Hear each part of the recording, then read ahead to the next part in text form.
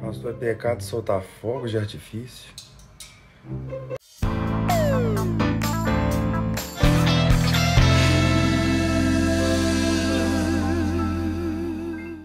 Pecado, pão de queijo, ser mais de 20. Pecado demais. O que, tem ouro no pão de queijo? Você tá doido? Que queijo que é esse? A vaca o quê? Vaca de prata que. Meu Deus, aí. Posso ser salvo sem Jesus? Você não é crente, não. Conselho para quem é novo na fé: olhe para Jesus. Continue olhando para Ele, Jesus te ama. Entenda que as pessoas podem falhar com você, ninguém é perfeito na igreja, muito menos fora dela.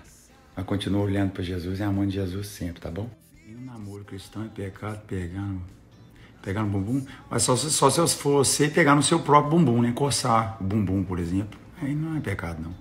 Agora você tá falando de pegar o bumbum da namorada, namorada? Não é crente, não. Pastor, como se vê livre da bebida e coisas mundanas? Amizades certas, entendendo que existe um inferno e o salário do pecado é a morte espiritual, distanciamento de Deus e a mãe de Jesus, sobretudo, né, meu filho? Casar só porque não consegue controlar a carne é pecado.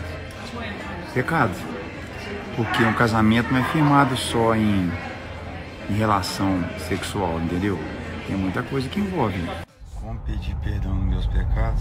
Em primeiro lugar, reconhecendo que você pecou, né? Tem muita gente que não reconhece, né? Já é um grande passo. Segundo, crendo que quem te purifica é Jesus. Então você confessa, você fala com ele realmente o que você cometeu. E crê no perdão que ele te deu. Me apaixonei por uma menina da igreja. Decidimos orar até a idade do namoro. Vai dar certo? Faça com sua vida, não. Se você ainda não tem idade nem para namorar, vai ficar orando sobre um trem que nem é hora para você viver isso. Faça com sua vida, não. Faz isso, não. Pastor, ele terminou comigo. Sinto saudades, ainda o amo. Mas, minha filha, não tem o que fazer. Ele terminou com você, não gosta do seu, ué. Bora pra frente. Vai buscar Deus. A melhor coisa que você faz, orar, busca Deus, tá bom? Pastor, é pecado soltar fogo de artifício. Mas, gente, soltar fogo de artifício é pecado.